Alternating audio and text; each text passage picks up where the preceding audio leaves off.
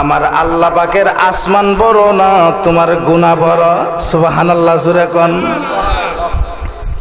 ইয়া রাসূলুল্লাহ, ইয়া হাবিবাল্লাহ, ওগো নবীজি, আমার মন সাক্ষী দেয়, আল্লাহ পাকের আসমান ছোট, আমার গুনাহ বড়।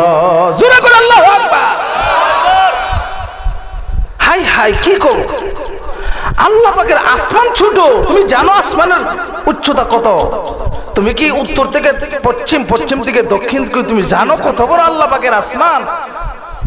অগণবীজি আমি যুবকের জানা নাই কিন্তু আমি এমন ঘুণা করেছি গো নবীজি। আমার মন সাক্ষী দে আল্লাহ পাকের আসমান ছোট, আমার গুণা বড়। নবীজি ডাকতে বলে, রে মদিনার যুবক, কি কও কি কও?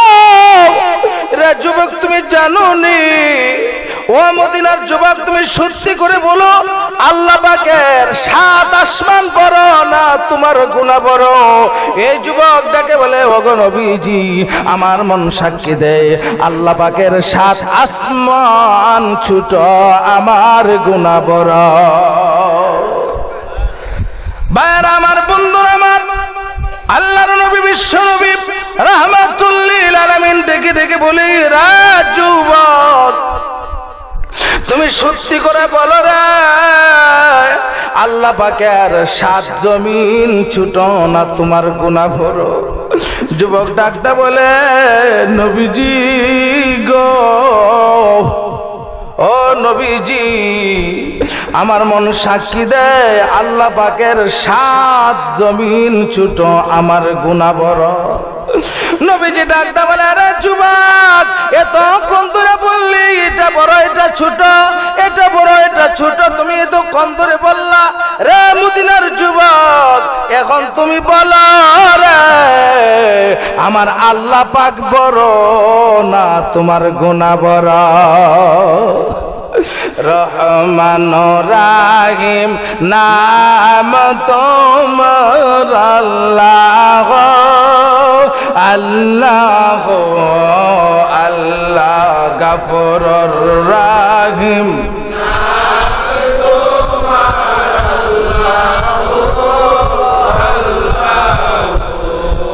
আল্লাহ সামিয়ম বাসির নাম তোমার আল্লাহ আল্লাহ আল্লাহ গফুর রাহিম।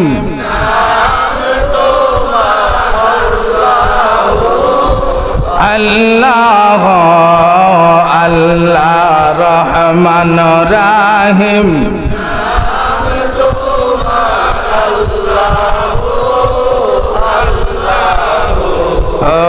আল্লাহ সামিয়ম বাসের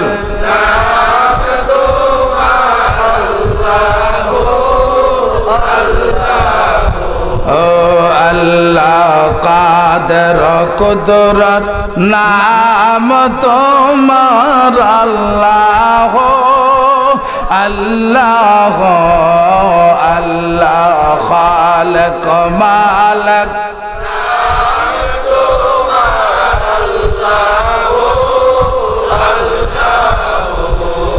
আল্লাহ রহমান রাহেম।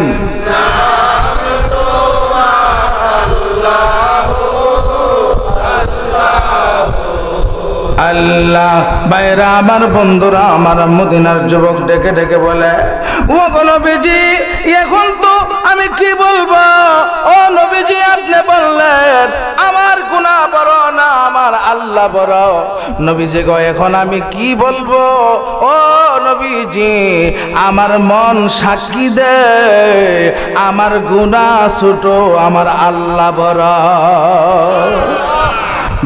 আমার বন্ধুরা, আমার আল্লাহ রাব্বুল আমিন বলেন, রে যুবক আমার আল্লাহ যদি বড় হয়ে থাকে, আমার আল্লাহ যদি বড় হয়ে থাকে, আমার আল্লাহ নিজেই কোরআন শরীফের মধ্যে বলছেন, লা তাকনা তুমির রহমাতিল্লাহ। আল্লাহর রহমত থেকে জনে বঞ্চিত না হয় নৈরাজ যেন না হয়। রে যুবক, আল্লাহ বলছেন, আল্লাহ রাব্বুল আলামিন বলছেন, আল্লাহ ক্ষমাশীল দয়ালু। আল্লাহ বলেন, কেউ যদি জমিন থেকে নিয়ে আসমান পর্যন্ত গুনাহ করে করে জীবন ধ্বংস করে দেয় তারপরেও আল্লাহ বলেন, তার তওবার দরজা খোলা আছে। যদি খালেজ দিলে তওবা করে, আমার আল্লাহ তার জিন্দেগির গুনাহ মাফ করে দিবে। সুবহানাল্লাহ। বাইরে আমার, বন্ধুরা আমার, লক্ষ্য করে দেখুন, ওই যুবক বলে অগনবীজি আমার মন সাক্ষী দেয় আমার আল্লাহ বড়, আমার গুণা ছোট। সুবহানাল্লাহ জোরাকান নবীজি গো আমার মন সাক্ষী দেয়, আমার আল্লাহ বড়, আমার গুণা ছোট। এখন নবীজি ডাকদা বলে, তোমার গুণা যে এত বড় গুণা এত কোন ধরে বললা এখন তোমার মনে সাক্ষী দেই, যেহেতু আল্লাহ বড়, আল্লাহ তোমার গুণা মাফ করে দিবে। তুমি তওবা করো, খালেজ দিলে। নবীজিকে ডাকদা বলে, নবী গো, দুনিয়ার আগুন তো মানুষের দেখানো যায়, অন্তরের আগুন তার কাউরে দেখানো যায় না। আমার ভিতরে ভিতরে যে একটা আগুন জ্বলতেছে, এ আগুন আমি কারে দেখাই? আল্লাহ মাফ করে দিবে মানলাম ভিতরে যে আগুন চলতেছে এই আগুন আমি কারে দেখাবো কোন। আরে যুবক, কি গো? আগুন আবার কি? তখন বলে, নবীজি গো, আমি যে এত বড় গুনাহ করলাম গুনার খবর দুনিয়ার মানুষ না জানুক, আল্লাহ তো ঠিকই জানে। ঠিক কিনা, বাবা? ও মোহাম্মদপুরের যুবক ভাই, জীবনে যত গুণই করে থাকেন, আপনি কিন্তু ভুলে গেছেন, আল্লাহ কিন্তু ভুলে নাই। ঠিক কিনা, জোরা কন? দুইজন ফেরেস্তা কিন্তু কাঁধে বসা আছে। কেরামান কাতিবিন, তারা কিন্তু ভালো মন্দ লিখতেছে। তাদের লেখা কিন্তু মিস্তাই, লেখা কিন্তু মিস্তাই, লেখা হয়ে যাচ্ছে। এখন আমার রাসূল বলেন, যুবক এত কোন দূরে বললা তোমার এত বড় গুণা আর ভিতরে এত বড় আগুন। আগুনটা কি একটু কয়ালাও না কইলে তো শেষ হয়ে যাবে। ঠিক কিনা জোরা কন? তোমার কি গুণাটা করছ? গুনার কথাটা তো এ পর্যন্ত বললা না। কি গুণাটা করছ? আল্লামা আশেকে এলাহি বলন্ত সুরি মহাজের মধুরী, মরণের পরে কি হবে ওই কিতাবে উনি লেখেন এলাকার যুবক ভাই লক্ষ্য করে শোনো, ওই যুবক ডাকদা বলে, নবী গো, আমার গুনার কথা বলতাম, এখন যদি আমার গুনার কথা কই, এখন তো আর আপনি জায়গা দিতেন না। যদি গুনার কথা বলি, এই দরবার থেকে আমার তারাই দিবেন। এখন কি রাখবেন না তারাই দিবেন? নবীজি কয় যুবক, নির্ভয়ে তুই নির্ভয়ে ক তুই ভিতরে আগুনটা দেখবেন মনে একটা কষ্ট বাবা। সাথে বললে আগুনটা একটু ঠান্ডা হয়। এখন যুবক, তোর ভিতরে যে আগুন জ্বলতেছে আগুনটা করার লাগে আমার কাছে একটু বল। গান এখন যুবক নবী গো, আমি যদি আমার এই গুনার কথাটি আমার কাছে খুলে খুলে বলি, আপনার দরবারতে যদি আমার তারাই দিন, তারপর আমি কই যাব? নবীজি ক নির্ভয়ে ক। বলো সমস্যা নাই বলতাম ক হ্যাঁ আমার এত বড় গুণা আমি এক বছর নয়, দুই বছর নয়, আমি আজকে থেকে নিয়ে আমি শুরুর থেকে নিয়ে আজ পর্যন্ত বারো বছর পর্যন্ত কবরস্থানের কাফনের কাপড় চুরি করেছি। হাই হাই আর এটা কি কস? কবরস্থানের কাপড়ের কাপড় তুই চুরি করছ? তুই কাপড়ের কাপড় দা কিতা করতে? ঠিক কিনা, জোরে কন? তুই এত বড় গুণা করছ, কাফনের কাপড় চুরি করছ ক বছর, ক বারো বছর? আরে না ফরমান রে। আরে তুই কাফনের কাপড় দিয়ে তুই কিতা করতে কর? নবীজি গো আমি রাতের বেলা গিয়া যদি দামি কাফনের কাপড় হইতো রাতের বেলা গিয়া কাফনের কাপড় চুরি করে না দিনের বেলা ধোয়া ভালো করে ইস্তারি দিয়া আবার বাজারের দোকানে নিয়ে আমি বিক্রি করতাম। নওয়াজ সুরে কর। নবীজি গো, আমার কফাল আল্লাহ আকবার আল্লাহ আকবার। তুই আর ব্যবসা বাইছিস না। কবস্থানের কাপড়ের কাপড়। এই না ফরমান তুই যে কাপড়ের কাপড় আনতে গেলে তোর কি একটু ভয় লাগছে না? তুই কবরে কেমন করে নামলে? তোর কি ভয় লাগছে না? আর তুই কি কবরে কোনো কিছু দেখোস নাই? কোন বেশি গো, একদিন আমি একটা ঘটনা দেখছি। কইতাম নেই? কইতাম নেই? তাকায়া দেখি এক অবস্থানে রাতের বেলা নামলাম, নামায়া দেখি একটা যুবক রে পাত থেকে নিয়ে মাথা পর্যন্ত ফেসাইয়া ফেসাইয়া একটা সাপ অযোগ্যর একটা সাপ, মাথার মধ্যে একটা সুপ মারে। এই যুবক সত্তর ফুট, কথার কথা, সত্তর ফুট মাটির নিচে ঢুকে যা। বাছা বাছা করে আবার উঠে, আবার ধরে, আবার উঠে আবার উঠে। আল্লাহ আকবার, জোরে কান। নবীজি গাও আমি কোমরের ভিতরের এই ভয়ানক আজাব দেখিয়া, আমি পিছাইতে আরম্ভ করে দিলাম। না জানি এই সাপ আমাকে ধরে ফেলে কিনা। নবীজি গো আমি যখন পিছাইতেছিলাম হঠাৎ করে কে জানে আমাকে আওয়াজ দেয়া বলে রে আল্লাহর নাফরমান ও কাফন সুর এই কবরে যে এই মুর্দারের এত বড় ভয়ানক আজাব হচ্ছে যারে যা যা যা যা যায়া জিজ্ঞাসা কর এই আজাব তার কিসের জন্য? আল্লাহ আকবার কন। ওগো নবীজি আমি এক কদম পিছে যাই আর এক কদম সামনে যাই। যাইতে যাইতে যাইতে যাইতে ওই কবরের পাশে যাইয়া ওই কবরের মুর্দারটাকে ডেকে ডেকে বললাম, এ কবরের মুর্দার এত বড় আজাব তোমার কেন রে ভাই? তুমি কি করেছিলা? কার কিসের জন্য তোমার এত আজাব ওগো নবীজি, আমি তাকায় দেখলাম গো, এই মুর্দার আমার সঙ্গে ডেকে ডেকে বলে, রে দুনিয়ার ভাই আমি নামাজও পড়ছি, রোজাও রাখছি, আমি হজও করছি, জাকাতও দিয়েছি, আমার কোনো আবাদতে কোনো কমতি নাই, শুধুমাত্র একটা আমল ছেড়ে দিয়েছিলাম দুনিয়ার মধ্যে, যে একটা আমল ছেড়ে দিয়েছিলাম, ওই আমলটা না মানার কারণে আমার কবরে এমন ভাবে আজাব হচ্ছে। আল্লাহ আকবার, জোরে কন। কবরেরই আজাব যদি মানুষ দেখিতা গরবারি রিয়া পাগল হইদা গরবারি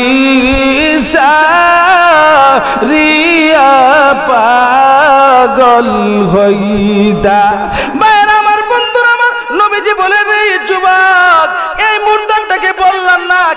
একটা আমল ছেড়ে দিল। যে আমলটা ছাড়ার জন্য তার কবরে হাসাপে এমন ভাবে তাকে কামড় দিতেছে।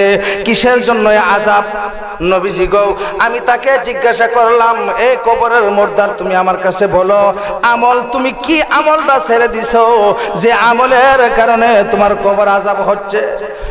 ওই কবরের মুর্দার ডেকে বলে, ও দুনিয়ার ভাই, শোনো, আমি নামাজ পড়ছি, পাঁচ অক্ত রোজাও রাখছি, প্রত্যেকটা আবাদত বন্দী সব করছি। দুনিয়ার মানুষ একটা কথা বলে তাকে এক মন দুধ আর এক মোনা, সেনা পড়লে দুধটা নষ্ট হয়ে যায়, ঠিক কিনা? আমার নামাজ, রোজা, যা কিছু আবাদত, সব একটা আমল ছাইরা দেওয়ার যার কারণে সব আমল আমার ধ্বংস হয়ে গেছে গা। জুরে কন, নাউজবিল্লাহ। তোমার সব আমল ভাবে শেষ হয়ে গেছে, আমলটা কি দা আরে আমলটা যে ছাড়ছো, এটা কি দা? তখন ওই যুবক বলে, আমি প্রস্রাব করে একদিনও প্রস্রাবের ঢিলা কুলুপ ব্যবহার করে নাই। আমি প্রস্রাব কইরা একদিনও আমি প্রস্রাবের পানি লই নাই। আগে তো কুলুপ ছিল, এখন তো টিস্যু বের হয়ে গেছে বাবা। এখন আমি আপনাদেরকে বলে দিতে চাই, ওই লোকটার কবরে এমন ভীষণ আজাব। নামাজ, রোজা সব করছে, কিন্তু আমাদের সমাজে তো এমন লোক আছে, প্রস্রাব করে ডিলাকুলো ফুলব দূর কথা পানিও না, আসেনি বাবা। এখন আমি আপনাদেরকে বলে দিতে চাই, বাবা, যত আমলি করেন, যদি প্রস্রাব করে যদি আপনি টিস্যু পঁচিশ টাকা হলে একটা মুদির মালের দোকানে একটা টিস্যু পাওয়া যায়, বাবা। এই টিস্যু না আর ঘরের মধ্যে রাখবেন, পকেটে রাখবেন, জিদে গেছে গা তো গেছে গা, ওই সামনের থেকে যদি আর না হয়। পুরা প্রস্রাবের পানি যদি আপনার দশ হাজার টাকার দামের কাপড়টার মধ্যে পড়ে, কাপড়টা কি পাক থাকব না নাফা করব আর এই নাফাক কাপড় যদি আপনার নামাজ পড়েন, নামাজ হবে বাবা। তাহলে ওই যুবক বলে, কবরের মুর্দার বলে, আমি সব আবাদত করছি, প্রস্রাব করে আমি কুলুপ ব্যবহার করি নাই, পানি লই নাই। কথার কথা বাবা আপনি টিস্যু ব্যবহার করে পানি নাই, সমস্যা নাই। টিস্যু ব্যবহার করলে আপনার হক আদায় হয়ে যাবে, সমস্যা নাই। এখন দেখা যায় টিস্যু ব্যবহার না করে পানি লইলেন হইতো না। কারণ জি ডাল লেগে লইবেন এটি তৈল না। বুঝছেন না কথাটা? সব তো আর কোন জানা? বাবা, খেয়াল রাখতে হবে বাবা, নামাজ রোজা যদি করেন, ভালো করে করেন। আর নতবা কিন্তু আল্লাহর দরবারে জবাবদিহিতা করতে হবে। ওই কাফন সুর বলে, আমি কবরে মুর্দারে জিজ্ঞাসা করলাম, তোমার কবরে কই দিন ধরে আসাব ও অনেক আমাকে যেদিন কবরে রাখছে দুনিয়ার মানুষ ওই দিন থেকে আমাকে এই আমাকে এই কষ্ট দেওয়া দিচ্ছে। কোন দিন যেন এই কষ্ট শেষ হয়, একমাত্র আমার আল্লাহ ছাড়া কেউ জানে না।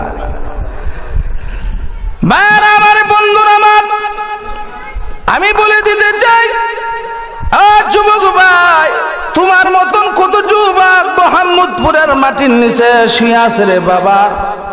ওরে যুবক ভাই, ও মা গো, আপনার মতন কত মা মোহাম্মদপুরের মাটির নিচে আছে, জুরে কোন আছে কিনা?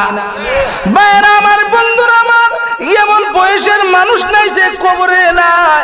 বাবারা, ও নামাজি মা বোনেরা, ও নামাজি যুবক ভাইয়েরা, মুরব্বী বাবারা, পাউডার কাছে হাতরা রেখে কয়া যাই রে বাবা। জীবনে যত অন্যায় করছ, যত ঘুষ খাইছো, যত হারাম খাইছো, ছেড়ে দাও ছেড়ে দাও, আল্লাহর বয়ে ছেড়ে দাও। রে যুবক ভাই, জীবনে যত অন্যায় অপরাধ করেছ, আর গুণা কইর না, আর গুণা কইর না। এখনও সময় আছে, আল্লাহর কাছে খালেস দিলে তওবা করো। আল্লাহ ওয়াদা দিয়েছেন, কেউ যদি খালেস দিলে তওবা করে, আল্লাহ রাব্বুল আলামিন তার জিন্দেগীর সবগুলো গুনাহ মাফ করে দিবে। ভাইরা আমার, গুনাহ মাফ করে দিবে। এখন প্রস্রাব কইরা হে, টিস্যু ব্যবহার করন না, ছাইরা দন। জোরে কোন, করন না, ছাইরা দন। কেডা কেডা আমলটা করবেন, হাতটা দিলে আল্লাহকে দেখা দেন। নারায় তাকবীর। জোরে কোন জোরে কোন, নারায় তাকবীর। কোরআন হাদিসের আলোক কোরআন সুন্নাহর আলোক নারায় তাকবীর হাত নামান, আমলটা কিন্তু করতে হবে। ওয়াজের ভিতরে একটা আমল দিয়ে দিলাম, আরও সামনে আমল আসতেছে। কষ্ট হইতেছে আপনাদের? আমলটা যদি ছেড়ে দেন, অবস্থা কিন্তু খারাপ হয়ে যাবে, সব আমল ফানি হয়ে যাবে। হ্যাঁ আমি তো আর সামনে জায়গা দেখতেছি না, কই আজামো মানুষ তো অনেক হয়ে গেছে। মানুষ যে আল্লাহওয়ালা, এটাই প্রমাণ। আলহামদুলিল্লাহ বাজান, একটু সামনে, যার সামনে এক ইঞ্চি পরিমাণ জায়গা আছে, একটু লোকটা আগান বাজান। পিছনে তো অনেক লোক হয়ে গেছে। হ্যাঁ পূর্ব দিকে একটু জায়গা আছে, একটু সবাই ভিতরে যান। যারা যারা দাঁড়ায় রয়েছেন, মুরব্বী দাঁড়ায় রয়েছেন, যান। লা ইলাহা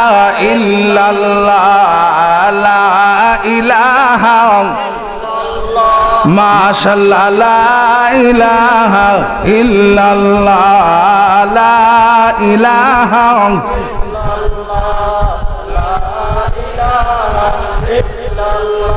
জান্নাতের ওই খুরফুরিরা করছে এই নাম জপনা। সবেদারি অলিরায় করছে এই নাম সাধনা। লা ইলাহা ইল-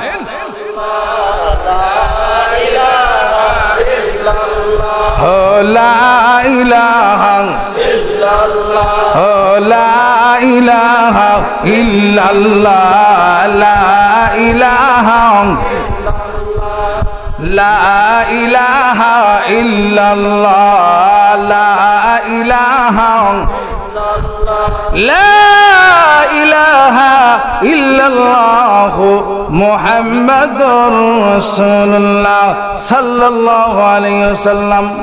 কষ্ট হইতেছে আপনাদের? আমি মধ্যে দিয়ে আরেকটা আমলের কথা স্মরণ হয়েছে। কয়ে দিতাম না বাবা? এখন যে সিজনটা আসছে বাবা, এটা কি গরম সিজন না শীত সিজন? শীত। শীত কি শুধু আমাদেরই করে না আব্বা আমারও করে? এখন একটা আমল দেওয়া যায় আজকাল মাহফিল দিকে যায়, বাড়িতে দেখবেন, বাবা, মার শীতের কাপড়টা আছে কিনা? বাবার শীতের কাপড়টা আছে কিনা? মার জুতোগুলো আছে কিনা? একটু তালাশ করেন, এমনও সন্তান আছে। আ মা বাবার কোনো তালাশি করে না, আছে না? আমার আগের বক্তা মাতা পিতার সম্পর্কে আলোচনা করে গেছে। এই জন্য আমি আজকে বলব না, আরেকদিন বলব। বাবা, এই শীতকালীন চলে আসছে, আপনার শীতের সিজনে দেখা গেছে আপনি গভীর রজনীতে ছোটবেলায় আপনি যদি মাকে মাঘ মায়ে শীতে প্রস্রাব করে দিতেন মাসি প্রস্রাবের মধ্যে থাকছে, অথচ আপনারে প্রস্রাবও রাখে নাই, আপনারে ভালো জায়গায় রাখছে, ঠিক কিনা কর বিভিন্ন এলাকায় দেখা যায়, মার খবর নেই না, বাবার খবর লই না। দেখা যায় ওই যে, ওই হানে দরজাল পিসাব এক এলাকায় আছে, ওই জায়গার মধ্যে লইয়া যাই মালটা নিয়ে যায়, আপেল নিয়ে যা, কমলা নিয়ে যা, মুরুগ নিয়ে যা, ঠিক কিনা জোরে কন? আল্লাহর নবী বলেন, তোমার মাকে একটা আপেল খাওয়াইতে পারো। তোমার বাবাকে যদি একটা আপেল খাওয়াইতে পারো, তোমার মা, তোমার বাবা যদি আল্লাহকে আল্লাহ বলে একবার ডাক দে বাবা রে ওই মার দুয়ার কারণে আমার আল্লাহ তোমার ভবিষ্যৎ জীবন উজ্জ্বল করে দিবে।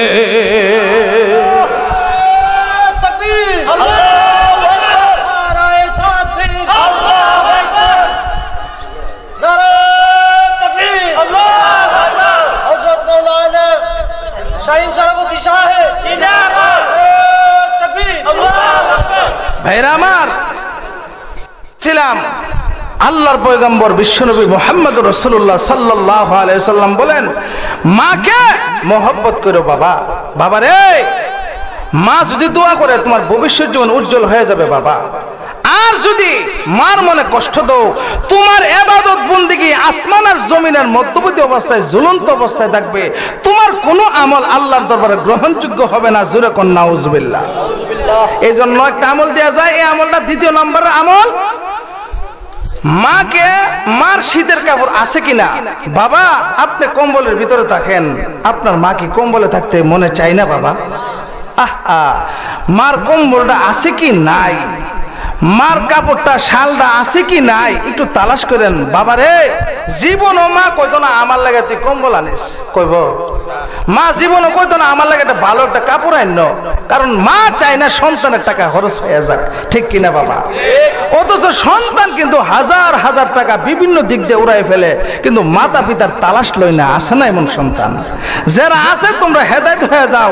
আল্লাহ তোমাদেরকে সঠিক বুঝ বুঝার তৌফিক দেখ বলে আমি বলতেছিলাম ও কাফন সুর, কবর আজাবের কথা মনে আছে? নবীজি বলেন, রে কাফন সুর, তুমি কবরের ভিতরে এমন আজাব দেখলা? তারপরও তুমি কাফনের কাপড় চুরি করছ।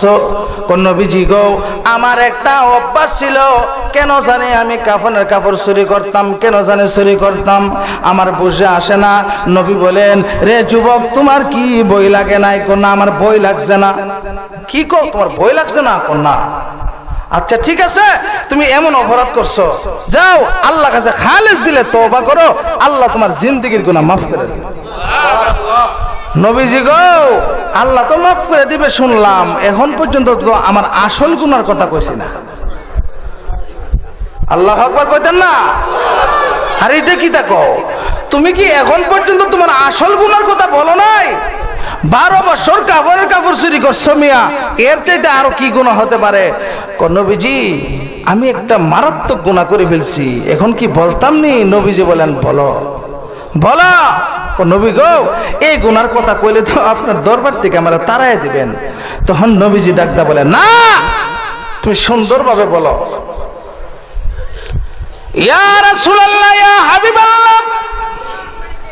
গত করলাম এই মদিনা শহরের ভিতরে আপনার দনাট্য একজন সাহাবি, আনসারি সাহাবি ওই আনসারি সাহাবির একমাত্র একটা মেয়ে, কুমারিকা মেয়ে, তার বিবাহ হয় নাই।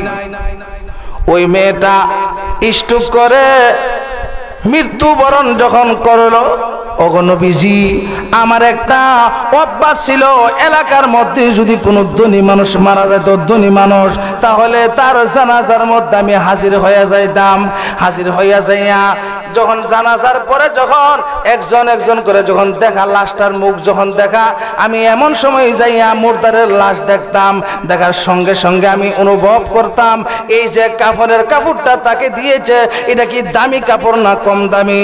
ওগনবীজি যদি দেখতাম দামি কাপড়, তাহলে গভীর রজনীতে আমি যাইয়া ওই কাফনের কাপড় ছিনাইয়া নিয়ে আসতাম। নবীজি গো, ওই আনসারি সাহাবীর মেয়ে যখন জানাজার নামাজ পড়তে আমি হাজির হয়ে গেলাম, জানাজার নামাজ পড়িয়া আমি পড়িয়া আস্তে আস্তে করে করে জানাজার লাশের হাতটার কাছে যখন যাইলাম, তাকায় দেখি গো, জীবনে কত কাফনের কাপড় চুরি করেছি, জীবনে কত কাপড় এনেছি, এত বড় দামি কাপড় আমার জিন্দগিতে দেখি নাই। ওগনবীজি এই মেয়েটাকে যখন যখন দুনিয়ার মানুষগুলো উদ্যাপন করে, কবরের মধ্যে যখন দিয়া, মাটি দিয়া যখন চলে আসলো, নবীজি গো, আমি গভীর রজনীতে, আমি ওই গভীর রজনীতে এক হাতে একটা কোদাল লইলাম আর এক হাতে একটা ঘন্টি লইলাম। আল্লাহ আকবার যেরকম নবীজি এক হাতে একটা কুদাল লইছি আর এক হাতে একটা খুন্তি লইছি লয়া, গভীর রজনীতে মানুষ নাই রে, মানুষের কোনো সারা শব্দ নাই। প্রত্যেকটা মানুষের ঘরে ঘরে ঘুমিয়ে রয়েছে। শুধু একমাত্র আমার মন সাক্ষী দেয় আমি সজাগ, আমার আল্লাহ সজাগ। আল্লাহ আকবর। অগনবীজি গভীর রজনীতে ওই আমি কুদাল এবং হন্তি লইয়া রওনা হয়ে গেলাম। এত বড় বিশাল কবর স্থানে। আমি যাই গেলাম, যাইয়া সর্বপ্রথম কুদাল এবং হন্তি দিয়া মাটিগুলো সরাইতে আরম্ভ করে দিলাম। আল্লাহ। কত বড় সাহস মিয়া। মোহাম্মদপুরের এমন কেউ আছেন? গভীর রোগীতে একা একা কবরস্থানে যাবেন এমন কেউ আছেন? আরে যদিও কোনো কিছু না থাকে বাবা, মনের তো একটা বই আছে। আছে না বাবা? অন্তরের তো একটা বই আছে বাবা। ওই যুবক, বলেন, নবী গো, আমি আস্তে আস্তে করে করে কবরটা খনন করতে শুরু করলাম। আমি কবরের দুই পাশের মাটি আস্তে আস্তে সরাইতে আরম্ভ করে দিলাম গভীর রজনীতে।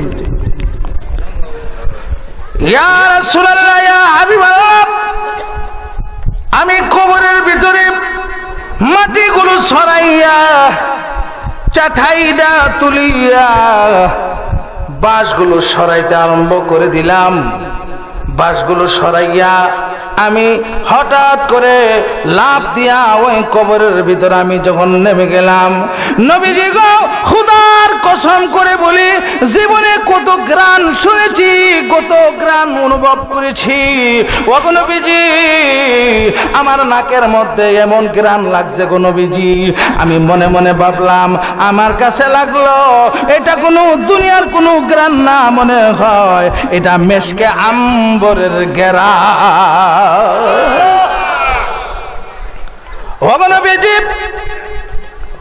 আমি এই গ্রাম অনুভব করিয়া, আমি যখন এই কুমারিকা মেয়ের শরীরের মধ্যে যখন হাত যখন দিতে যাইলাম, এমন সময় আমার কানে কানে মিস্টার ইবলিশ শয়তান ওই যে মানুষের দুশ্মন ইবলিশ শয়তান আমার কানে কানে কুমন্ত্র দিল, কুপরামর্শ দিল।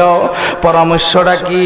আমাকে বলতে লাগল, রে কাফন সুর, এ আল্লাহর নাফরমান জীবনে কত কাফনের কাপড় চুরি করেছস, জীবনে কত অন্যায় করেছস, জীবনে কত অপরাধ করেছস। রে কাফন সুর, তোর মনে যদি কোনো খায়সা থাকে, তুই এই কবরের ভিতরে, এই কুমারিকা মেয়ের সঙ্গে তুই করতে পারস সুরে কন্যা ওসবিল্লাহ ও আমি যখন হারাপ যখন এই কুমারিকা মেয়ের শরীরে যখন আমি মধ্যে যখন হাত দিতে সঙ্গে সঙ্গে ওই মুর্দার, এই মুর্দার মহিলাটা সঙ্গে সঙ্গে কবরের ভিতরে জীবিত হয়ে যায়।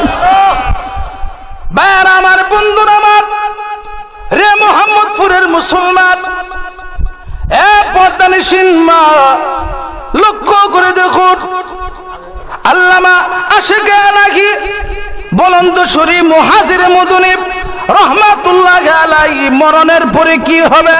ওই কিতাবের মধ্যে আল্লাহর অলি লেখে গো, বন্ধুরে, যেই মাত্র এই মহিলার শরীরে ধরবে, মহিলা জিন্দা হয়ে গেল, জিন্দা হইয়া যাইয়া অগনবীজি আমার ডান গালের মধ্যে এমন জোরে একটা থাপ্পড় মারলো অগনবীজি আমার ডান গালের মধ্যে কবরের মুর্দার মহিলাটা, এই কুমারিকা মেয়েটা জিন্দা হইয়া আমার গালের মধ্যে থাপ্পড় মারলো। থাপ্পড় দেওয়ার সঙ্গে সঙ্গে আমি কবরের ভিতরে বিহুশ হয়ে গেলাম। আল্লাহ আল্লাহ আল্লাহ আকবার। ভগনবীজি কবরের ভিতরে আমি অজ্ঞান হয়ে কবরের ভিতরে পড়ে রইলাম। আমি কিছুক্ষণ পরে হুশ হইলাম। অগনবীজি এই মহিলাটা আমাকে ডেকে ডেকে বলে, রে আল্লাহর নাফরমান, ও মদিনার কাফন সুর, তোর অভ্যাস হলো কাফন চুরি করা। তুই কাফনের কাপড়টা নিয়ে চলে যাইতে মনে দুঃখ ছিল না। তুই কেমন করে রে? আমার শরীরে হারাপ নিয়তে হাত দিয়েছিলে রে নাফরমান। নাফরমানটা আমি হইলাম আল্লাহর নবীর সাহাবীর মেয়ে। আমি আল্লাহর নবীর মেয়ে। আমার হায়াত নয় আমি বিদায় হয়ে চলে আসছি।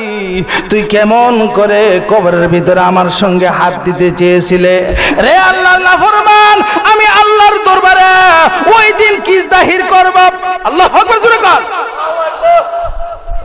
হাসরের ময়দানে আল্লাহর কাজ করার মধ্যে দাঁড়াইয়া দাঁড়াইয়া আমি যেদিন মানুষের হিসাবগুলো দেওয়া লাগবে, ওই দিন আমি ওই হাসরের ময়দানে আল্লাহর কাজ করার মধ্যে দাঁড়াইয়া আল্লাহর দরবারে তোর নামে কিস দাহির করব, আল্লাহ যেন তোর গুণাগুলো মাফ না করে।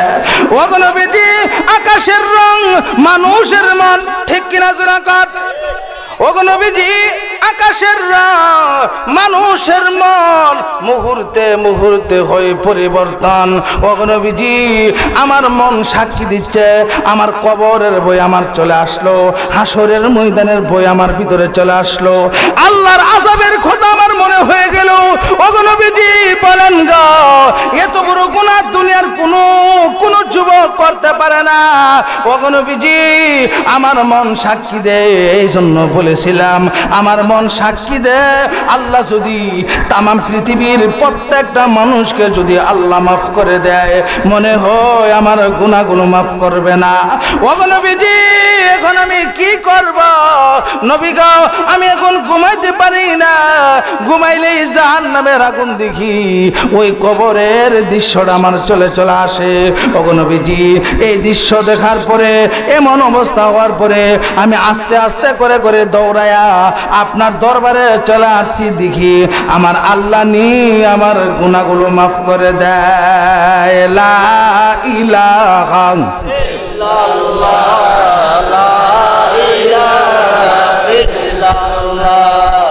لا إله إلا الله لا إله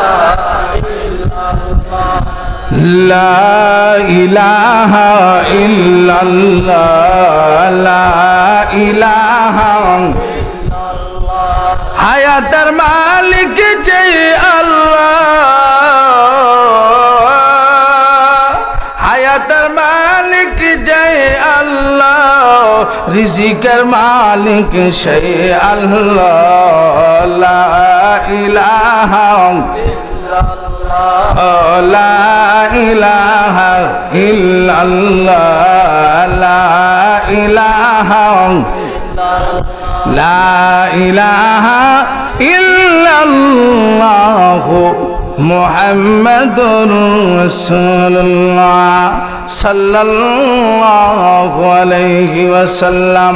বাইরা আমার, বন্ধুর আমার, আল্লাহর নবী, বিশ্ব নবী রাহমাতুল্লিল আলামিন বলেন, রে আল্লাহর নাফরমান, ও কাফন সুর, এত বড় তুই অপরাধ করতে পারলে, যা যা যা যা, আমি নবীর দরবারে তোর মতন নাফরমানের কোনো জায়গা নাই। যা যা, আমার দরবার থেকে তুই সরে যা সরে যা। বন্ধুরা, ওই যুবক কান্দে আল্লাহ। আমি এখন কি করব? শয়তানের দুকায় পড়ে গো। আমি এত বড় গুণা করে ফেলেছি আল্লাহ। বারো বছর কাপড়ের কাপড় চুরি করলাম। আমি কবরের ভিতরে এত বড় নাফরমানি করলাম না। আল্লাহ, শয়তানের কুমন্ত্রর ভিতরে পড়িয়া এত বড় গুনাহ আমি করে ফেললাম কবরের ভিতরে। মাবুদা, এই গুণ আমি এখন কি করব? আল্লাহ, এই গুণ আমি কি করব? নবীজির দরবার থেকে যখন তারায়া দিল যুবকটারে, এই যুবক দৌড়ায় চলে গেছে। হজরতে আলী রাজি আল্লাহ দরবারে যায় বলে, আলী আলী গা, তুমি আমার জায়গা দিবানি, তুমি আমার জায়গা দিবানি, নবীজির দরবারে আমাকে রাখে নাই, তুমি আমার জায়গা দিবানি। আলী ডাকটা বলে আল্লাহর নাফরমান ও আল্লাহর নাফরমান, আল্লাহর নবী তোমাকে জায়গা দিল না, আমি কেমন করে তোমাকে জায়গা দিব? ও আমার এলাকার যুবক বাইরে ও মুরব্বী বাবা, শোনো রে, শোনো, মন দিয়া শোনো, প্রাণ দিয়া শ্রবণ করো রে বাবা। ওই যুবক দৌড়ায়া উসমান গুনির দরবারে চলে গেল। উসমান গুনি গা যে আমাকে তারায়া দিল। আলীও আমাকে তারায়া দিল। তুমি আমাকে জায়গা দিবানি? ডেকে ডেকে বলে, উসমান গুনি ডাক দা বলে, নবীজি যেই জায়গায় তোমাকে জায়গা দেই নাই, আমিও তোমাকে জায়গা দিমু না। আল্লাহ আকবার কন। ওই যুবক উমরের দরবারে গেল। উমর, আমাকে তো সকলে তারাই দিয়েছে, তুমি আমার তারাই দিবানি। উমর বলেন, নবীজি যে জায়গায় তোমাকে সরাই দিছে, আমি কেমন করে রাখি? সম্ভব না, তুমি আমার দরবার থেকে বের হয়ে যাও। উমরের দরবার থেকে যখন বের হয়ে গেল তারপরে আমার বন্ধুরা আমার সালমান ফার্সির দরবারে গেল। ও নবীর সাহাবি, তারা আমাকে অন্য অন্য নবীর সাহাবিরা তারাই দিয়েছে, তুমি আমার জায়গা দিবানি কন্যা। সম্ভব না, আমার দরবারে তোমার জায়গা নাই। বন্ধুরে, যেই মাত্র এক কথা বলল বাইরা আমার, বন্ধুরা আমার, সঙ্গে সঙ্গে ওই যুবক বলে, এলাকার মানুষ যদি আমাকে জায়গা না দেয়, এলাকার মানুষ আমাকে জায়গা না দিতে পারে আমার মন সাক্ষী দে, আমার আল্লাহর দরবার থেকে আমাকে নৈরাশ করবে না। বাইরে আমার বন্ধুর, আমার মদিনার এই কাফন সুর, এই কাফন সুর দৌড়ায় বলে, দুনিয়ার মানুষ আমাকে জায়গা না দিতে পারে। আমার মন সাক্ষী দেয় আল্লাহ আমাকে জায়গা দিবে। এখন কি করবে রে? এলাকার ভিতরে তাকে কেউ জায়গা দেয় না। এই মদিনার যুবক, এ কাফন সুর, ওই মদিনার পাহাড়ে চলে গেল। সুবহানাল্লাহ। কিতাবের মধ্যে লেখে, এই যুবকটা এমন মোটা ছিল, অনেক কালো ছিল, অনেক শক্তিশালী ছিল, অনেক সাহসী ছিল। সাহস না থাকলেই কবরে গিয়ে নামতে পারতো। ঠিক কিনা জুড়ে কন? কিতাবের মধ্যে লেখে, ওই যুবকটা এমন ভাবে কান্না আরম্ভ করে দিছে। কানতে কানতে এমন ভাবে কান্দা রাত্র গভীর হয়ে গেল আল্লাহ। দুনিয়ার অফিস, আদালতের দরজা বন্ধ হয়ে গেছে গো আল্লাহ। আমার মন সাক্ষী দেয়। আমার মন সাক্ষী দেয়, আপনার দরজাও খোলা আছে। সুবহানাল্লাহ কন।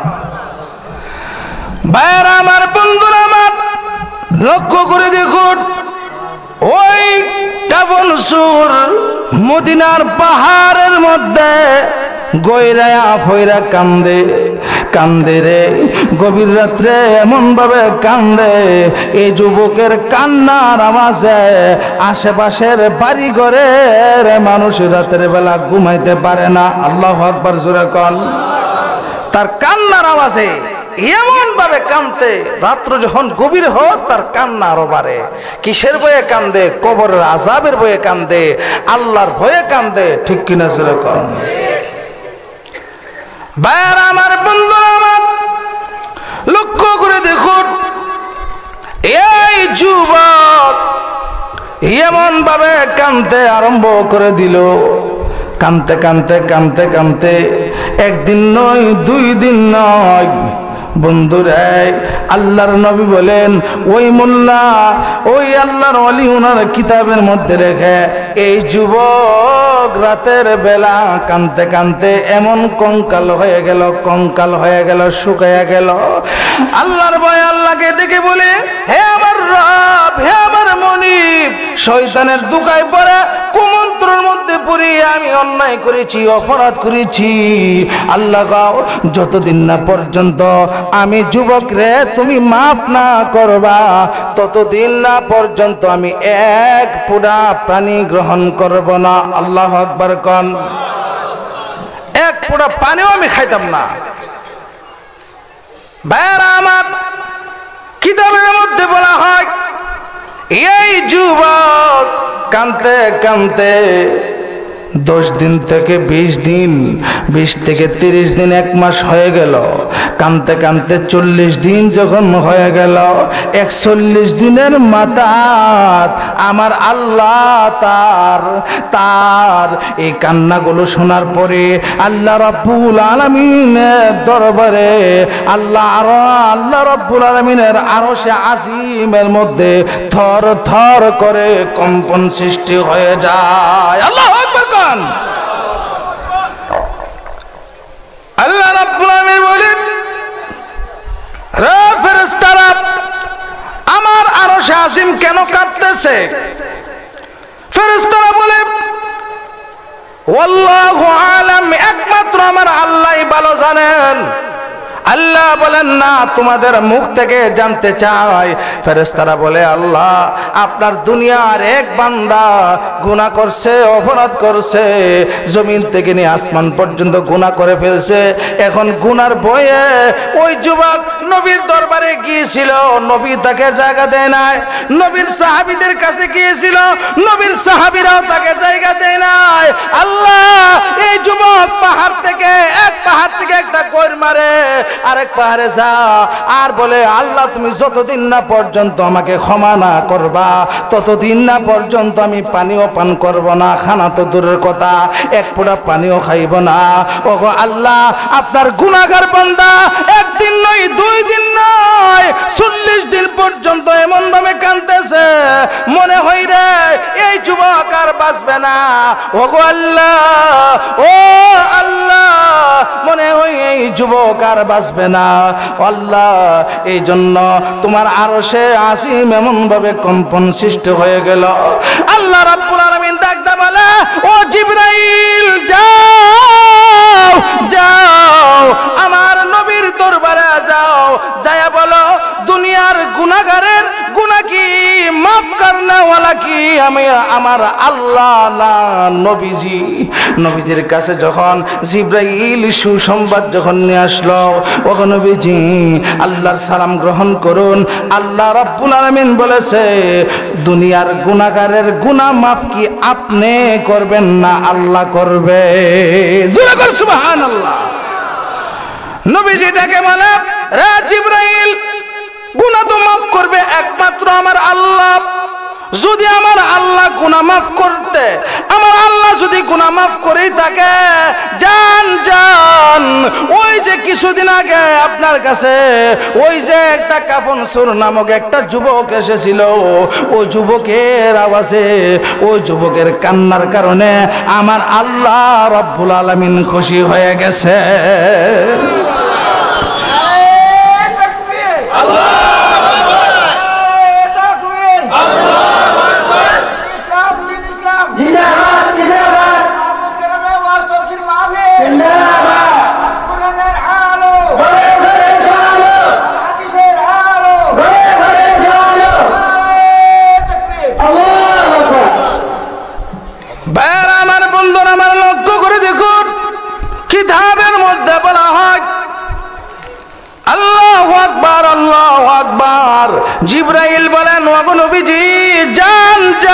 যান ওই যুবকরা আপনি সুসংবাদ জানায়া দেন। তার চোখের পানির কারণে তার কান্নার বিনিময়ে আল্লাহ রাব্বুল আলামিন একচল্লিশ দিনের মাথাত আমার আল্লাহ তার গুনাহগুলো মাফ করে দিয়েছে। বাইরে আমার বন্ধুর, আমার আল্লাহ রাব্বুল আমিন বলেন যারা দুনিয়ার মধ্যে কবরের আজাবের বইয়ে আমি আল্লাহর বইয়ে যারা এমন ভাবে কান্নাকাটি করবে, যারা এমন ভাবে কাঁদবে রে, ও মোহাম্মদপুরের গুনাগার মা বোনেরা গ, ও গুনাগার যুবক ভাইয়েরা গুনাগার বাবারা, কেউ যদি এমন ভাবে চোখের ফানি ফালাইতে পারেন গো বাবা, আল্লাহ রাব্বুল আমিন বলেন, গভীর রজনীতে কেউ যদি তাহাজ্জুদের নামাজ পড়িয়া, আমি আল্লাহকে, আল্লাহ বলে স্মরণ করতে পারে আমি আল্লাহ ওয়াদা দিলাম, তার জিন্দিগির সবগুলো গুনাহ মাফ করে দিব। আল্লাহ বলেন, কুল্লু নফসিন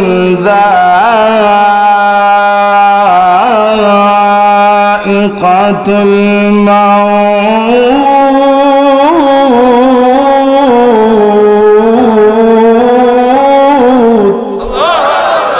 আল্লাহ যার ভিতরে রুহ আছে, প্রাণ আছে, মরণশীল মরতে হবে। কিন্তু গুণালয়ে কিন্তু মইর না। গুণালয়ে মরলে কিন্তু কবর আজাব কিন্তু সহ্য করতে পারবে না। ঠিক কিনা জোরে কোন বাবা? কবর আজাব আসেনি বাবা? আহ। যারা কবরে গেছে, তারা বুঝতে পারবে। আমরা তো দুনিয়াতে বুঝতে পারতেছি না। আল্লাহ রাসূল বলেছেন, হাদিজাকে? ওরে হাদিজা! আমি রাসূলের কিন্তু উপর ভরসা করে দেখো না তোমার কবরে কিন্তু তোমার একা থাকতে হবে তোমার আমল তোমাকেই বাঁচাবে ঠিক কিনা জুড়ে কন বাবা আল্লাহর পয়গম্বর বলেন قال النبي صلى الله عليه وسلم القبر روزة من رياض الجنة أو حفرة من حفر النار কবরটা কারোর জন্য জান্নাতের বাগান হয়ে যাবে। আবার কারোর জন্য গো কবরখানা জাহান্নামের গর্ত হয়ে যাবে। ঠিক কিনা জুরাকন এমন ভাবে কার কবর জান্নাতের বাগান হবে, কার কবর জাহান্নামের গর্ত হবে, কেউ কি বলতে পারবেন বাবা? আল্লাহ আকবার আল্লাহ আকবার। এখন বাবা, কবর আজাবের বয়ে ঘরে ভিতরে, ঘরে শুয়া শুয়া আল্লাহকে ডাকলে চলবে না। আল্লাহ রাস্তা কিছু বের হওয়া লাগবে। ঠিক কিনা কন? আল্লাহ রাস্তা বের হওয়া লাগতো না বাবা? বাবা রে, আমার নবী ইসলামের জন্য কত কষ্ট করছে। কত কষ্ট করছে ইসলামের জন্য আমার রাসূল।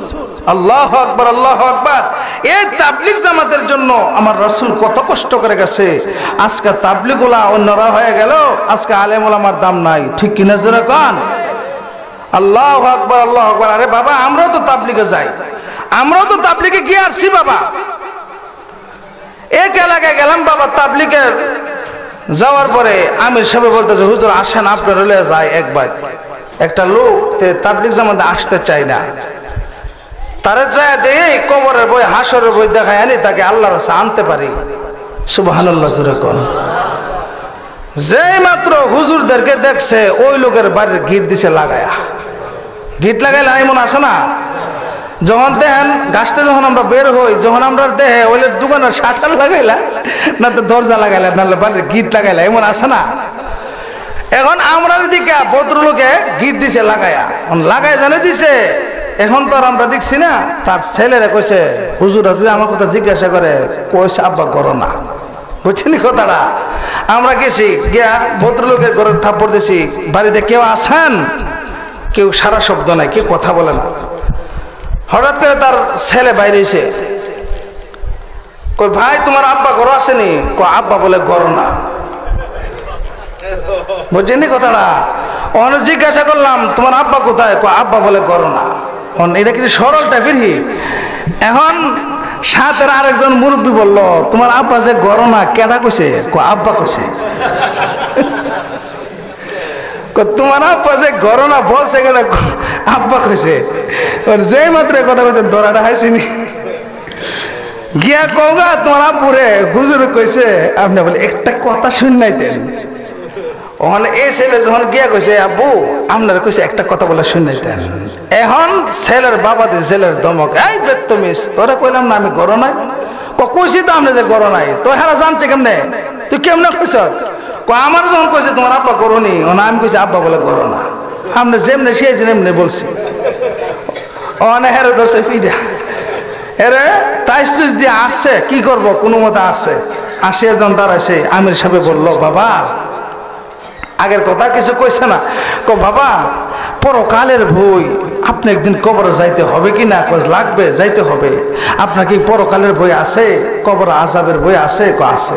তাহলে আপনি কি বাজান? আপনি কি এই আসর নামাজটা পড়ছেন? কোন আসর নামাজটা পড়ি নাই। তো বাজান, আপনি তো জানেন না, এক অক্ত নামাজের জন্য দুই কোটি অষ্টআশি লক্ষ বছর জাহান্নামের কালো জ্বলতে হবে।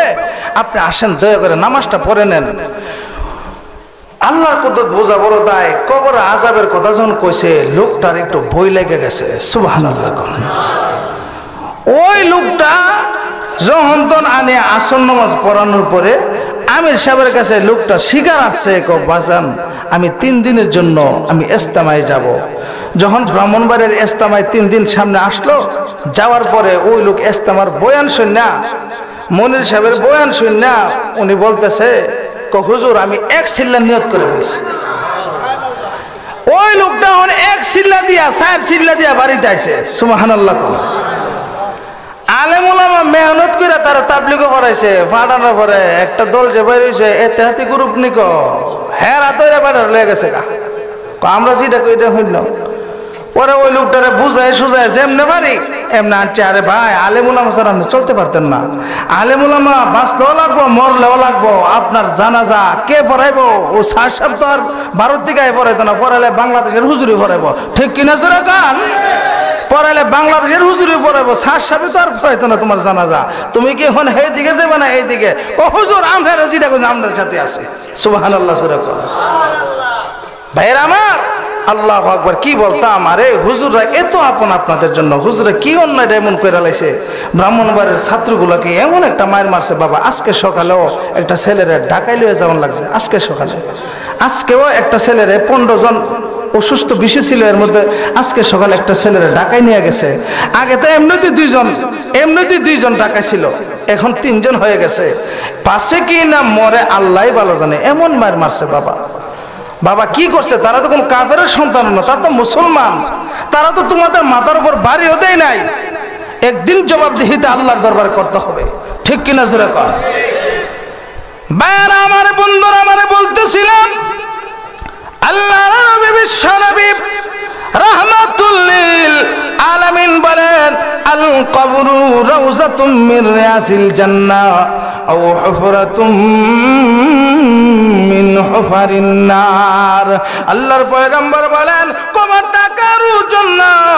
জান্নাতের বাগান হয়ে যাবে, আবার কারু জন্য কবরটা জাহান্নামের গর্ত হয়ে যাবে।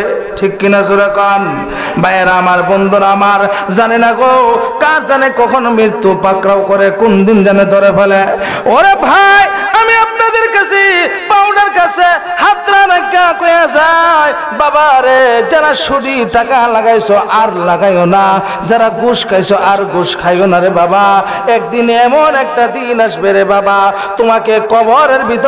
দাফন করে সকলে চলে আসবে।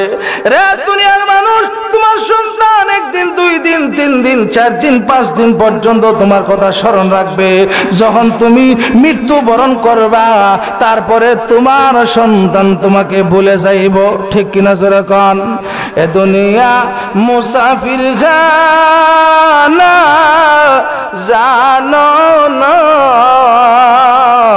কত মানুষ আহিল গেল, রইল না। কত মানুষ আহিল গেল, রইল না। নবীরেশকে হৌরে পাগল দেওয়ানা। তোমায় সারা নবীজি বেসতে যাবে না। রহমান রাহিম।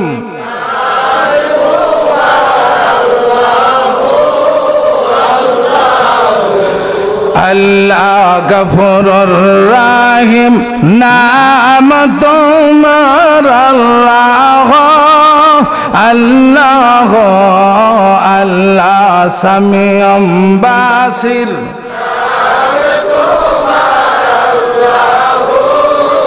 আল্লাহ আল্লাহ রহমান রাহিম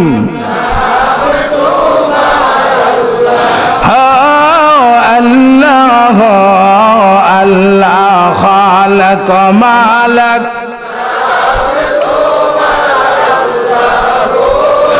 আল্লাহ আল্লাহ, লা ইলাহা ইল্লাল্লাহ মুহাম্মাদুর রাসূলুল্লাহ সাল্লাল্লাহু আলাইহি ওয়াসাল্লাম। আপনাদের কষ্ট হচ্ছে? ইনশাল্লাহ আল্লাহর ওলি রাস্তায় মনে হয়ে আসে ইনশাল্লাহ আসতেছেন। ভাইয়ের আমার, বলতেছিলাম, মানুষ মরতে হবে, মরণ থেকে কেউ রেখায় পাই নাই, পাবেও না। ঠিক কিনা যেরকম আজকের দিকে নিয়ে গত মাসের মনে হয় সাতাশ তারিখ আপনার ইন্দোনেশিয়ার থেকে একটা প্লেন উঠছিল। শুনছিলেন আপনার ঘটনাটা? যারা ফেসবুক চালায় তারা বুঝতে পারছে। এই যে প্লেনটা একশো উনানব্বই জন, একশো উনানব্বই জন যাত্রী নিয়ে এটা ওই ইন্দোনেশিয়ার রাজধানী থেকে উড়াল দিছে। যেই মাত্র উড়াল দিছে, আকাশের মধ্যে যাইয়া যখন সাগরের উপরে গেছে। হঠাৎ করে পাইলট বলতেছে প্লেনের যে ড্রাইভার পাইলট বলে বলতেছে "এ, যাত্রী ভাইয়েরা একটা কথা শুনেন আমার কোনো ক্ষমতা নাই। যারা আছেন সকলে মৃত্যুবরণ করতে হবে কেউ দেখাই পাবেন না। আল্লাহ আকবার আরে হঠাৎ করে যদি কেউ বলে প্যান্ডেলের ভিতরে যারা আছে সবাই মৃত্যুবরণ করবে। যারা হাত দুর্বল আছে কথা শুনলে মৃত্যুবরণ করবে। ঠিক কিনা কন? যেই মাত্র এই কথা প্লেনের ভিতরে কইছে কাহার ভিতরে জানে আর ফানি আছে বাবা? এত তো অতগুলো মানুষ। একশো অষ্টআশি জন হয়েছে যাত্রী আর একটা ছিল বাচ্চা, ছয় মাসের শিশু একটা বাচ্চা, মেয়ে বাচ্চা। মা বাপ বলতেছে, কি করন? কোনো তো করার নাই। যখন এটা যখন আকাশ থেকে আস্তে আস্তে করে করে যখন নিচে নামছে, যখন দুনিয়ার নেটওয়ার্কের সাথে ফেসবুক কাজ করছে, এমন সময় তারা ভিডিও কইরা এমন ভাবে ফেসবুক এটা দিছে সাইরা, আর তারা যে চিৎকার করতেছে বাবা, আল্লাহ আকবার আল্লাহ আকবার, লা ইলাহা ইল্লাল্লাহু মুহাম্মাদুর রাসূলুল্লাহ, তারা জোরে জোরে পড়তেছে। আর পড়তেছে, এখন কি করব? এখন সাংবাদিক বলে একশো অষ্টআশি জনের ভিতরে সহ কেউ নাই, প্রত্যেকটা মানুষ মৃত্যুবরণ করছে। বাজান, বুঝে থাকলে বলুন, তারা যদি জানতো প্রিন বিদুংশ হয়ে তার মৃত্যুবরণ করবে, তাহারা কি ঘর থেকে বের হলইলে! এখন প্লেনটা তো সাগরের ভিতরে ঢুকে গেছে। সাগরের ভিতরে যখন ঢুকে গেছে, মানুষ আস্তে আস্তে করে গিয়ে আল্লাহ কুদরত বোঝা বড় দায়। সাগরের মধ্যস্থলে বললে প্লেনও লইলে না, লাশও লইলে না। কারণ সাগরের যে কত বড় গভীর এটা একটা সোরের পাশে পড়ছে। আল্লাহর পদ্ধতি বোঝা বড় দায়। সোরের পাশে যখন পড়ছে, মানুষ হেলিকপ্টারে যায় যেমন হয়ে গিয়া প্রিন্টারে টানিয়া সোরের কাছে আনছে। আনার পরে প্রিন্টে ভাঙ্গিয়া ভিতরে ঢুকিয়া আস্তে আস্তে করে একটা করে মানুষ আনতেছে, লাশ বের করতেছে। লাশ বের করতে করতে করতে হঠাৎ করে তাকায় দেখে একটা বাচ্চার চিৎকার শোনা যায়। জোরে করে আল্লাহ আকবার। একটা বাচ্চার চিৎকার শোনা যায় কিরে এটার ভিতরে একটা মানুষ বেঁচে নাই, সব মৃত্যুবরণ হয়েছে, সব মারা গেছে। বাচ্চার দিয়ে আওয়াজ শোনা যায়। সায়া দেহে একটা লাকিসের ভিতরে লাকিসের ভিতরে মনে হয় মা বাপ মনে মনে এটাই ভাবছে, যদি আল্লাহ বাচ্চাটার হায়াতটাকে যদি বাঁচাইলে বাঁচাইলো, আর না বাঁচাইলে তো শেষ। মা বাবার আইডেন্টি কার্ডগুলো আছে না, বাচ্চাটার ভিতরে ঢুকাই রাখছে। পরে যাতে পরিচিত হওয়ার লাগে, নাহলে কার বাচ্চা কে নিব?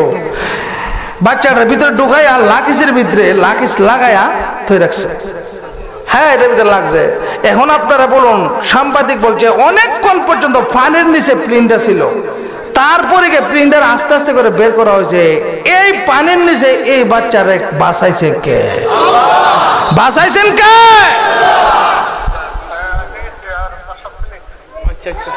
ভাইয়ের আমার। আল্লাহ আকবার আল্লাহ আকবার। তাহলে বুঝতে হবে, বাঁচাইছেন কে? সাংবাদিক হতভাগ হয়ে গেল। জীবনে কত লাশ দেখেছি, এমন অলৌকিক ভাবে এমন একটা বাচ্চা। একটা মানুষ বাঁচে নাই, কিন্তু এই বাচ্চাটা বেঁচে গেল। বাঁচাইছে কে বাবা? আল্লাহ আকবর আল্লাহ আকবর। এখন বাচ্চাটার লাকিস থেকে শোয়ানোর পরে ডাক্তার দিয়ে পরীক্ষা করা হয়েছে, বাচ্চাটার সামান্যতম কোনো অসুবিধা হয় নাই। আল্লাহ আকবর আল্লাহ আকবর। এই জন্য আল্লাহ বলেন, কুল্লু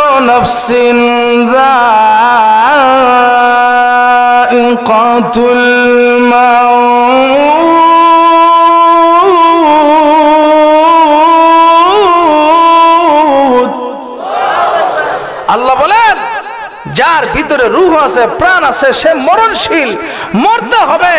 কেউ আগে মরবে, কেউ পরে মরবে। বাইরে আমার বন্ধুরা মানে লক্ষ্য করে দেখুন। তাফসিরের রুহুল মানিতে বলা হয়, মানুষ মরবার চল্লিশ দিন আগে আসমানে খবর হয়ে যায়, এমন মানুষটা মৃত্যুবরণ করবে। প্লেনের ভিতরে একশো অষ্টআশি লোক যে মারা গেছে, তারা কিন্তু জানে নাই তাদের যে বিশার মেয়াদ শেষ হয়ে গেছে। ঠিক কিনা জোরে কন? তারা আগে আসমানে খবর হয়ে যায়, আল্লাহর নবী, বিশ্ব নবী রাহমাতুল্লিল আমিন বলেন, মানুষ মৃত্যু হওয়ার চল্লিশ দিন আগে আসমানে খবর হয়ে যায়, সাজরাতুল মুনতাহা, তওবা নামে একটি গাছ আকাশের মধ্যে রয়েছে। মোহাম্মদপুরের প্রত্যেকটা মানুষের নাম ওই গাছের পাতায় পাতায় লেখা অবস্থায় আছে। আল্লাহ আকবর কন। বের আমার ওই গাছের পাতা যখন হলুদ হয়ে যায়, আল্লাহর নবী বলেন, মানুষের শরীরটা আস্তে আস্তে দুর্বল হয়ে আসে। ভালো কথাও মজা লাগতো না, ভালো কথা মজা লাগবে না। দেখা যাবে কি জানে ক, কি জানে ক, একটা অশান্তি আর অশান্তি সৃষ্টি হয়ে যায়। আল্লাহ আকবর কন। আল্লাহর পয়গম্বর বলেন, মানুষটা যদি জান্নাতি হয়, তাহলে আসমান থেকে আল্লাহর ফেরেস্তা হ্যাঁ যে আজরাইল সালাতু সালাম 500 500 নূরের ফেরেস্তা লয়া আগমন করবে যদি জান্নাতি হয়। আর যদি জাহান্নামি হয়, তাহলে আসমান থেকে পাঁচশত গজবের ফেরেস্তা লয়া আগমন করবে। এখন সাহাবারা প্রশ্ন করল, ইয়া রাসূলুল্লাহ, ইয়া হাবিবাল্লাহ, আজরাইল তো জানে না কেউ জান্নাতি, কে জাহান্নামী, এর খবর জানে কে? আল্লাহ জানে। তাহলে আর আরজাইল কেমন করে ফেরেস্তা ফেরেস্তা তো দুই রকমের। একটা জান্নাতি, একটা জাহান্নামী। এখন আর আরজাইল কেমন করে নিয়ে আসবে? তখন রাসূল বলেন, হে সাহাবীরা, শোনো। মানুষটা মরবার যেদিন সকালবেলা, ওই মানুষটার বাড়ির চতুর্দিক দিয়া যদি জান্নাতি হই, নূরের বাতি জকমক করবে। সুবহানাল্লাহ। জোরে কোন কিসের বাতি? নূরের বাতি জকমক করবে, তখন আর যাইলে বুঝতে পারে যে ওই মানুষটা জান্নাতি সুবাহান তখন পাঁচশত ফেরেস্তালে আগমন করে। আর জাহান্নামে হলে কেমন করে বুঝে? তখন আর যাইল আল্লাহ রাব্বুল আলমে জানাই দে যেই মানুষটা মৃত্যুবরণ করবে, তার বাড়ির চতুর্দিক দিয়া জাহান্নামের পক্ষ থেকে কালো বাতি জ্বলতে থাকে। কালো বাতি জ্বলে আর নিবে। কালো বাতি জ্বলে আর নিবে, তখন আর যাইলের বুঝতে আর বাকি থাকে না। লোকটা কি জান্নাতি না জাহান্নামি? তখন আর যাইল বলে, হায় রে, এটা তো বেনুমাজি। এটা তো সুৎকর আরে, এটা তো নাফরমান। এটা তো সমাজের মধ্যে অশ্লীলতা, সমাজের মধ্যে ঝগড়া লাগায় রাখে। এটা হলো হারামহুর যা, এটা জাহান নামি তাকে পাঁচশত গজবের ফেরস্তা লয়া তার বাড়িতে যা। জুড়ে কন আমাদের সমাজে এমন লোক আছে, বলতে থাকে, আল্লাহ আল্লাহ, সংসারে কত কাজ করতেছি। আল্লাহ কি আমারে কি আর চাইলে কি দেখে না? এটা মনের কষ্ট থেকে বলে বলে না বাবা? ঘরের মধ্যে পাঁচটা ছেলে আল্লামা হাকিমুল উম্মত আশরাফ আলী তানবী রহমতুল্লাহ আলাই বলেন, এক বৃদ্ধ লোক কইতাছে আল্লাহর দরবারে ঘাস কাটতে গেছে, গিয়া ঘাসের পূজা লইয়া ওই বিলের মধ্যে, জমিনের মধ্যে উষ্টা হাইয়া পড়ে গেছে। পড়ে যাওয়ার সঙ্গে সঙ্গে আল্লাহ কাছে কইতেছে, আল্লাহ, তুমি কি আমার দেহ না? তোমার আর চাইলে কি আমার দেখে না? আমার ছেলে, পাঁচটা ছেলে সংসারের ভিতরে থইয়া আমি আর কত ঠেলুম? ঠেলতে ঠেলতে তো আমার জীবন শেষ করে নিলাম। কালো দাড়িগুলো সাদা করে লাইলাম। ছেলেগুলো কথা শুনে না, আর যাইল তুই কি আমার দেহস না? আল্লাহর কুদরত বোঝা বড় দায়। বিলের মধ্যস্থলে আশেপাশে কোনো বাড়িঘর নাই। হঠাৎ করে গাছের পূজা যখন ফলাই দিল, আর মনের কষ্ট থেকে এই কথাটা বলল, হাকিমুল উম্মদ থানবী বলেন, এমন সময় আল্লাহর কুদরত মালাকুল মত আজরাইল গিয়া তার চোখের সামনে হাজির হয়ে গেছে। আর জোরে কোন সুবহানাল্লাহ। যেই মাত্র হাজির হয়ে গেছে, তখন গিয়ে সালাম দিয়েছে আসসালামু আলাইকুম রহমতুল্লাহ। এই মুরব্বী লোক গাছের পূজার যে লোক ঘাস কাটছিল, এই লোক তাকায় দেয় আরে, এটা কি রে? জমিন থেকে না আসমান পর্যন্ত এক লোক দাঁড়ায় রয়েছে। সুবাহান এই, তুমি কে? আমি তো কে লাগে আমার ডাকছিলেন? এটা কয়ে লাগে সুবাহান আর এটা কি কন? আমলে কে? আমি আজরাইল। হারে ভাই কি কন? আপনি আরজাইল হ্যাঁ আমি আরজাইল আপনি কোন আজরাইল? কো আমি হলাম মালাকুল মউত আজরাইল। যেই মাত্র এই কথা কইছে, বেড়া ঘাসের পূজা কিতা লইব মিয়া? বেড়ার ভিতরে কম্পন সৃষ্টি হয়ে গেছে গা। এই যে কইছে আরজাইল দেখে না, এটা কি অরিজিনাল ভাবে আরজাইল নোয়ার লাগে কইছে না মনের কষ্টের কারণে কইছে? মনে দুঃখর কারণে কতলা ছেলে তো বেটা কাজ করন লাগে, এমন ছেলে আছে না মোহাম্মদ ফুলামান কাজ করে না, কিন্তু মুরব্বী বাবা ঠিকই কাজ করুন লাগে। এখন আর যাইলে ক, কি লাগে আমার ডাকছেন, এটা কয়া লাগে এই লোক কইছে বালা কাম। ওহন আমার নোয়ার লাগে বসে রে আমি কি করুম? ওহন তার বুদ্ধি শুদ্ধি নাই, হঠাৎ করে তার ভিড়- এমন এক বুদ্ধি আছে আর যাইল কইতাছে এ কে লাগে ডাকছেন কয়ালান ক, আর যাইল আমি যে গাছের পূজাটা ফালাইছি, গাছের পূজাটা তুলতারি না, তুমি তুইলা দিতে তোমার বিচারতেছে আস্তাগফিরুল্লাহ কি গো তুমি গাছের পূজা ফালাই দিছো, এটা তুলতে পারো না। আমি তোমার গাছের পূজা তুলে দেওয়ার লাগে আমার বিচারতেছো তুমি হ্যাঁ। তোমার বাট পারে সিটারে সবাই আমি বুঝি, তোমার সময় এখনও হয় নাই। আল্লাহ আমার পারে যে তোমার সাথে একটু দেখা করার লাগা। আর দুনিয়াত মানুষ নাই, আমারও তুমি বিচারছো তোমার গাছের পূজা তুলে দিতে। আর লোক নাই। আমার বন্ধুরা আমার, আল্লাহর নবী বলেন যার যখন সময় হয়ে যাবে, মৃত্যুর ফরওয়ানা জারি হয়ে যাবে। বন্ধুরে, বলতেছিলাম ও আরজাইল, একটা মানুষ দেখা যায়, বন্ধুরে, ছেলের বিবাহর বাজার করে আনছে। সকালবেলা দেখা যায় বিবাহ যাবে, রাতের বেলা বাজার করে আনছে, ঘুমের ঘরে গেছে। হঠাৎ করে দেখে মালাকুল মত আরজাইল হাজির, সামনে হাজির হয়ে গেছে। এ মুসলমান না জানি কার কগার মৃত্যুর ফুরোয়ানা চলে আসে। বাবারে, দুনিয়াতে সব জিনিসের সিরিয়াল আছে বাবা, মরণের সিরিয়াল নাই। ছোট আগে বড় যা, বড় আগে ছোট যা। আল্লাহর নবী বলেন, দুনিয়াতে সব জিনিসের সিরিয়াল আছে, মরণের সিরিয়াল নাই। বাবারে, মালাকুল মৌত জানে আর জাইল জানে কোন দিন তোমার চোখের সামনে এসে হাজির হয়ে যায়। ঠিক কিনা কাল ওই আজরাইল সামনে খারা আমি কখন জানে পর্ব দরায়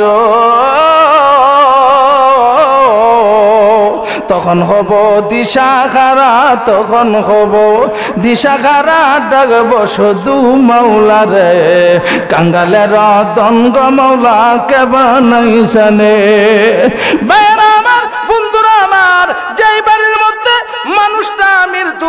করবে মালাকুল মোজাদ আর জাইল আসিয়া তাকে সর্বপ্রথম সালাম দিবে বেনুমাসির বাড়িতে যখন আসবে, সালাম দেওয়ার সঙ্গে সঙ্গে মানুষটা ডেকে ডেকে বলবে, কে গো আমাকে সালাম দিয়েছ? জীবনে কত সালাম শুনেছি, জীবনে কত সালাম নিয়েছি। ইয়ে তো কঠিন সুরে, কঠিন জবাবে কেউ সালাম দেয় না আপনাকে। তখন বলবে, আমি হইলাম হাজা মালাকুল মোতাজরাইল সুবহানাল্লাহ আমার কি হায়াত নাই? কোন তোমার হায়াত নাই, বিদায় হয়ে চলে যেতে হবে। কি বলো?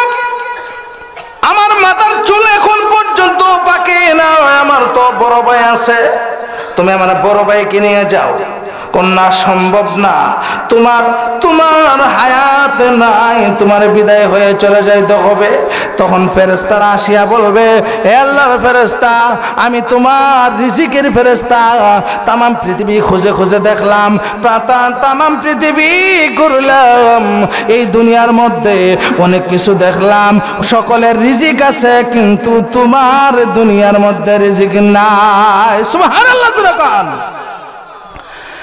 বাইরে আমার বন্ধুর আমার এমন ভাবে করে করে মৃত্যুর স্বাদ একদিন গ্রহণ করতে হবে। আল্লাহর নবী, বিশ্ব নবী রাহমাতুল্লিল আলামিন বলেন, মৌতের মরণের আগে তুমি যদি মৌতের চিন্তা করো, তুমি দৈনিক পাঁচবার যদি তুমি কবরকে বই করিয়া যদি চোখের পানি সারো, আল্লাহর নবী বলেন, তোমার কবরের গুর রাজা মাল্লা মাফ করে দিবে। সুবহানাল্লাহ কন। ভাইরা আমার, বুঝতে হবে, একদিন কিন্তু আমার আমার মৃত্যুর স্বাদ একদিন গ্রহণ করতে হবে। ভাইয়ের আমার, হুজুর চলে আসছে, হুজুর আসছে নাকি দা? জি? জি।